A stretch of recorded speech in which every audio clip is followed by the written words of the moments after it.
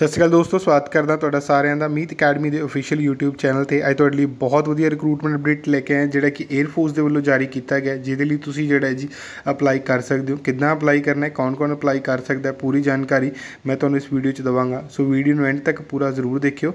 First time channel ਤੇ ਆਏ ਹੋ ਚੈਨਲ ਨੂੰ ਕਰ ਲਿਓ ਸਬਸਕ੍ਰਾਈਬ ਤੇ ਨਾਲ ਦੇ ਨਾਲ ਬੈਲ ਆਈਕਨ ਵੀ ਦਬਾ ਲਿਓ ਤਾਂ ਕਿ ਹਰ ਇੱਕ ਰਿਕਰੂਟਮੈਂਟ ਅਪਡੇਟ ਤੁਹਾਨੂੰ ਤੁਹਾਡੇ ਮੋਬਾਈਲ ਦੇ ਵਿੱਚ ਮਿਲਦਾ ਰਹੇ ਤੇ ਸਮਾਂ ਰਹਿੰਦੇ ਤੁਸੀਂ ਇਹਦੇ ਲਈ ਅਪਲਾਈ ਕਰ ਪਾਓ। ਵੈਕੈਂਸੀਜ਼ ਦੀ ਗੱਲ ਕਰੀਏ ਤਾਂ ਹੋਰ ਬਹੁਤ ਸਾਰੀਆਂ ਵੈਕੈਂਸੀਜ਼ ਨੇ ਜਿਹੜੀਆਂ ਕਿ ਆਊਟ ਹੋ ਚੁੱਕੀਆਂ ਨੇ, ਜਿਨ੍ਹਾਂ ਨੂੰ ਤੁਸੀਂ ਸਾਡੀ ਵੈਬਸਾਈਟ ਤੇ ਜਾ ਕੇ ਚੈੱਕ ਕਰਕੇ ਅਪਲਾਈ ਕਰ ਸਕਦੇ ਹੋ। ਜਿਹਦੇ ਲਈ ਸਿੰਪਲੀ ਤੁਸੀਂ ਗੂਗਲ 'ਚ ਜਾਣਾ ਹੈ ਔਰ ਉੱਥੇ ਜਾ ਕੇ ਟਾਈਪ ਕਰਨਾ ਹੋਵੇਗਾ meetacademy.in ਤੇ ਫਰਸਟ ਨੰਬਰ ਤੇ ਤੁਹਾਨੂੰ ਸਾਡੀ ਵੈਬਸਾਈਟ ਜਿਹੜੀ ਹੈ ਜੀ ਉਹ ਮਿਲ ਜਾਵੇਗੀ। ਉੱਥੋਂ ਸਾਰੇ ਜੌਬ ਰਿਲੇਟਡ ਅਪਡੇਟ ਜਿਹੜੇ ਨੇ ਤੁਸੀਂ ਲੈ ਸਕਦੇ ਹੋ ਤੇ ਚੈੱਕ ਕਰਕੇ ਅਪਲਾਈ ਜਿਹੜਾ ਤੁਸੀਂ ਕਰ ਸਕਦੇ ਹੋ ਜੀ। ਤੇ ਚਲੋ ਚੱਲਦੇ ਹਾਂ ਜੀ ਰਿਕਰੂਟਮੈਂਟ ਅਪਡੇਟ ਦੇ ਉੱਪਰ। ਉੱਥੇ ਚੱਲ ਕੇ ਤੁਹਾਨੂੰ ਸਾਰੀ ਇਨਫੋਰਮੇਸ਼ਨ ਜਿਹੜੀ ਹੈ ਇਸ ਵੀਡੀਓ ਦੇ ਬਾਰੇ ਵਿੱਚ ਦੇਣਾ ਹੈ। ਚਲੋ ਚੱਲਦੇ ਹਾਂ ਰਿਕਰੂਟਮੈਂਟ ਅਪਡੇਟ ਤੇ। ਸੋ ਸਭ ਤੋਂ ਪਹਿਲਾਂ ਤਾਂ ਇਹ ਨੋਟੀਫਿਕੇਸ਼ਨ 에ਅਰ ਫੋਰਸ ਵੱਲੋਂ ਆਊਟ ਜਿਹੜਾ ਹੈ ਜੀ ਉਹ ਕੀਤਾ ਗਿਆ ਜਿਹਦੇ ਲਈ ਤੁਸੀਂ ਅਪਲਾਈ ਕਰਨਾ ਹੈ। ਇਸ ਦੇ ਵਿੱਚ ਵੱਖ-ਵੱਖ ਜਗ੍ਹਾ ਤੇ ਵੈਕੈਂਸੀਜ਼ ਜਿਹੜੀਆਂ ਨੇ ਉਹ ਆਊਟ ਕੀਤੀਆਂ ਗਈਆਂ ਨੇ। ਆਪਾਂ ਵੈਕੈਂਸੀਜ਼ ਨੂੰ ਦੇਖ ਸਕਦੇ ਹਾਂ ਜੀ। ਇੱਥੇ ਅਲੱਗ-ਅਲੱਗ ਲੋਕੇਸ਼ਨ ਵਾਈਜ਼ ਵੀ ਵੈਕੈਂਸੀਜ਼ ਤੁਸੀਂ ਦੇਖ ਸਕਦੇ ਹੋ। ਠੀਕ ਹੈ ਜੀ? ਤੇ ਇਹਦੇ ਵਿੱਚ ਲੋਅਰ ਡਿਵੀਜ਼ਨ ਕਲਰਕ ਦੀਆਂ ਵੈਕੈਂਸੀਜ਼ ਨੇ, ਹਿੰਦੀ ਟਾਈਪਿਸਟ ਦੀ ਵੈਕੈਂਸੀਜ਼ ਹੈ ਜੀ ਸਿਵਿਲੀਅਨ ਮਕੈਨੀਕਲ ਟਰਾਂਸਪੋਰਟ ਡਰਾਈਵਰ ਦੀਆਂ ਨੇ, ਠੀਕ ਹੈ ਜੀ? ਇਸ ਦੇ ਨਾਲ ਲੋਅਰ ਡਿਵੀਜ਼ਨ ਕਲਰਕ ਦੇ ਨਾਲ ਹੋਰ ਵੀ ਵੈਕੈਂਸੀਜ਼ ਜਿਹੜੀਆਂ ਨੇ ਆਊਟ ਕੀਤੀਆਂ ਗਈਆਂ ਨੇ। ਸੋ ਤੁਸੀਂ ਇਹਦੇ ਲਈ ਚੈੱਕ ਕਰਕੇ ਅਪਲਾਈ ਕਰ ਸਕਦੇ ਹੋ ਜੀ। ਇਸ ਦੇ ਵਿੱਚ ਅਲੱਗ-ਅਲੱਗ ਲੋਕੇਸ਼ਨ ਦੇ ਲਈ ਜਿਹੜੀਆਂ ਨੇ ਅਲੱਗ-ਅਲੱਗ ਕਮਾਂਡ ਜਿਹੜੀਆਂ ਨੇ ਇੱਥੇ ਹੁੰਦੀਆਂ ਨੇ, ਉਹਨਾਂ ਲਈ ਵੈਕੈਂਸੀਜ਼ ਜਿਹੜੀਆਂ ਨੇ, ਇਹ ਵਾਲੀਆਂ ਆਊਟ ਕੀਤੀਆਂ ਗਈਆਂ ਨੇ। ਕਾਊਂਟ ਮੈਂ ਤੁਹਾਨੂੰ ਆਲਰੇਡੀ ਦੱਸਦਾ 137 ਵੈਕੈਂਸੀ ਦੇ ਅਪਰੋਕਸ ਜਿਹੜੀਆਂ ਵੈਕੈਂਸੀਜ਼ ਨੇ, ਇਹ ਆਊਟ ਹੋਈਆਂ ਨੇ। ਜਿਹਦੇ ਲਈ ਤੁਸੀਂ ਅਪਲਾਈ ਜਿਹੜਾ ਉਹ ਕਰਨਾ ਹੋਵੇਗਾ। ਇਸ ਦੇ ਵਿੱਚ ਆਪਾਂ ਸਭ ਤੋਂ ਪਹਿਲਾਂ ਤਾਂ ਗੱਲ ਕਰਦੇ ਹਾਂ, ਇਹਦੇ ਵਿੱਚ ਕੀ ਐਲੀਜੀਬਿਲਿਟੀ ਜਿਹੜੀ ਹੈ ਜੀ ਲੈਣ ਵਾਲੀ ਹੈ। ਜਿਹੜੀ ਲੋਅਰ ਡਿਵੀਜ਼ਨ ਕਲਰਕ ਦੀਆਂ ਵੈਕੈਂਸੀਜ਼ ਨੇ ਐਲਡੀਸੀ ਦੀਆਂ ਹਿੰਦੀ ਟਾਈਪਿੰਗ ਦੀਆਂ। ਇਸ ਦੇ ਵਿੱਚ ਲੈਵਲ 2 ਦੇ ਅਕੋਰਡਿੰਗਲੀ ਸੈਲਰੀ ਰਹੂਗੀ। 12ਵੀਂ ਪਾਸ ਕੈਂਡੀਡੇਟ ਐਲੀਜੀਬਲ ਨੇ। ਇਸ ਦੇ ਵਿੱਚ English typing 35 word per minute ਦੀ ਸਪੀਡ ਹੋਣੀ ਚਾਹੀਦੀ ਹੈ। ਹਿੰਦੀ ਟਾਈਪਿੰਗ ਦੀ 30 ਵਰਡ ਪਰ ਮਿੰਟ ਹੋਣੀ ਚਾਹੀਦੀ ਹੈ ਜੀ।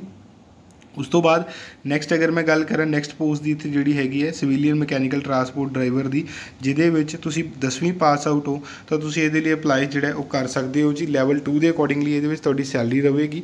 ਠੀਕ ਹੈ ਜੀ? ਇਹਦੇ ਵਿੱਚ ਤੁਹਾਡੇ ਕੋਲ ਸਿਵਲ ਡਰਾਈਵਿੰਗ ਲਾਇਸੈਂਸ ਹੋਣਾ ਉਹ ਜ਼ਰੂਰੀ ਹੈ, ਤਾਂ ਹੀ ਤੁਸੀਂ ਇਹਦੇ ਲਈ ਅਪਲਾਈ ਜਿਹੜਾ ਉਹ ਕਰ ਸਕਦੇ ਹੋ। ਜੀ, ਇਸ ਦੇ ਵਿੱਚੋਂ ਨੈਕਸਟ ਅਗਰ ਮੈਂ ਗੱਲ ਕਰਾਂ ਮੋਡ ਆਫ ਸਿਲੈਕਸ਼ਨ ਜਿਹੜੀ ਹੈ, ਉਹ ਅਲੱਗ-ਅਲੱਗ ਰਹਿਣ ਵਾਲੀ ਹੈ। ਅਲੱਗ-ਅਲੱਗ ਇਨ ਦਾ ਸੈਂਸ ਕਿ ਇਸ ਦੇ ਵਿੱਚ ਕੁਝ ਇੱਕ ਵੈਕੈਂਸੀ ਲਈ ਸਕਿੱਲ ਟੈਸਟ ਵੀ ਹੋਵੇਗਾ, ਠੀਕ ਹੈ ਜੀ? ਇਸ ਦੇ ਵਿੱਚ ਕੁਆਲੀਫਿਕੇਸ਼ਨ ਸਰਟੀਫਿਕੇਟ ਤੁਹਾਡੇ ਬਿਲਕੁਲ ਚੈੱਕ ਹੋਣਗੇ। ਐਲੀਜੀਬਲ ਕੈਂਡੀਡੇਟ ਜਿਹੜੇ ਨੇ ਇਸ ਦੇ ਵਿੱਚ ਤੁਹਾਡਾ ਜਿਹੜਾ ਸਭ ਤੋਂ ਰਿਟਨ ਟੈਸਟ ਜਿਹੜਾ ਹਿੰਦੀ ਟਾਈਪਿੰਗ ਦਾ ਹੋਣਾ general intelligence English language numerical aptitude ਦੇ ਇਹਦੇ ਜਿਹੜੇ ਕੁਐਸਚਨ ਨੇ ਤੁਹਾਡੇ ਇਸ ਦੇ ਵਿੱਚ ਰਹਿਣਗੇ, ਠੀਕ ਹੈ ਜੀ? ਉਸ ਤੋਂ ਬਾਅਦ ਜਿਹੜਾ ਸੀਐਮਟੀਡੀ ਦੇ ਲਈ ਹੋਣਾ ਹੈ, ਉਹਦੇ ਲਈ ਅਲੱਗ ਹੈ। ਤੁਸੀਂ ਇਹਦੇ ਲਈ ਚੈੱਕ ਕਰਕੇ ਅਪਲਾਈ ਜਿਹੜਾ ਉਹ ਕਰ ਸਕਦੇ ਹੋ ਜੀ। ਇਸ ਦੇ ਵਿੱਚ ਲਿੰਕ ਮੈਂ ਤੁਹਾਨੂੰ ਜਿਹੜਾ ਉਹ ਡਿਸਕ੍ਰਿਪਸ਼ਨ 'ਚ ਆਲਰੇਡੀ ਦੇ ਚੁੱਕਾ ਹਾਂ ਜੀ। ਚੈੱਕ ਕਰਕੇ ਅਪਲਾਈ ਕਰ ਲੈਣਾ। ਇਸ ਦੇ ਲਈ ਆਫਲਾਈਨ ਅਪਲਾਈ ਕਰਨਾ ਹੈ ਤੇ ਆਫਲਾਈਨ ਦੇ ਲਈ ਇਹਨਾਂ ਨੇ ਇੱਕ ਫਾਰਮ ਦਿੱਤਾ ਹੋਇਆ ਜਿਹੜਾ ਤੁਸੀਂ ਇਹ ਦੇਖ ਸਕਦੇ ਹੋ। ਇਸ ਫਾਰਮ ਨੂੰ ਤੁਸੀਂ ਚੈੱਕ ਕਰ ਲਿਓ ਇੱਕ ਵਾਰੀ ਪੂਰਾ। ਇਸ ਫਾਰਮ ਦੇ ਵਿੱਚ ਪੂਰੀ ਡਿਟੇਲ ਭਰਨੀ ਹੈ 18 ਤੋਂ ਲੈ ਕੇ ਇਸ ਦੇ ਵਿੱਚ ਜਿਹੜੇ ਹੈ 25 ਸਾਲ ਤੱਕ ਦੇ ਕੈਂਡੀਡੇਟ ਐਲੀਜੀਬਲ ਹੈ 3 ਤੋਂ 10 ਸਾਲ ਦੀ ਏਜ ਰਿਲੈਕਸੇਸ਼ਨ ਵੀ ਹੈਗੀ ਹੈ। ਸੋ ਚੈੱਕ ਕਰਕੇ ਅਪਲਾਈ ਕਰ ਲਿਓ ਜੀ ਸਾਰੀਆਂ ਵੈਕੈਂਸੀਜ਼ ਦੇ ਲਈ। ਇਸ ਦੇ ਵਿੱਚ ਤਿੰਨ ਤਰ੍ਹਾਂ ਦੀ ਵੈਕੈਂਸੀ ਜਿੱਦਾਂ ਮੈਂ ਤੁਹਾਨੂੰ ਦੱਸਿਆ ਜੀ lower division clerk Hindi typist ਤੇ ਡਰਾਈਵਰ ਦੀਆਂ ਵੈਕੈਂਸੀਜ਼ ਜਿਹੜੀਆਂ ਨੇ ਉਹ ਆਊਟ ਕੀਤੀਆਂ ਗਈਆਂ ਨੇ। ਸੋ ਚੈੱਕ ਕਰਕੇ ਅਪਲਾਈ ਕਰ ਲਿਓ। ਫਿਰ ਵੀ ਕੋਈ ਡਾਊਟ ਹੋਏਗਾ ਤਾਂ ਮੈਨੂੰ ਕਮੈਂਟ ਬਾਕਸ 'ਚ ਕਮੈਂਟ ਕਰਕੇ ਦੱਸ ਹੀ ਸਕਦੇ ਹੋ। ਇਹ ਸੀਗਾ ਅੱਜ ਦਾ ਨੋਟੀਫਿਕੇਸ਼ਨ ਤੇ ਮਿਲਦਾ ਹੈ ਜੀ ਨਵੇਂ ਨੋਟੀਫਿਕੇਸ਼ਨ ਦੇ ਨਾਲ ਨਵੀਂ ਵੀਡੀਓ ਦੇ ਵਿੱਚ। ਤਦ ਤੱਕ ਦੇ ਲਈ ਧੰਨਵਾਦ ਜੀ।